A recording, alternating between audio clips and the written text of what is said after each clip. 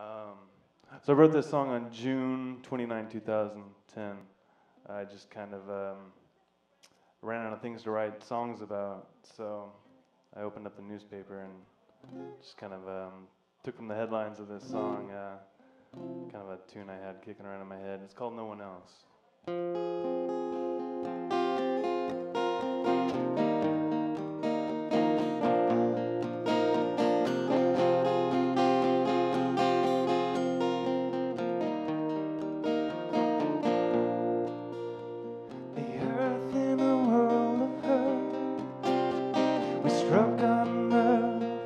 under the dirt.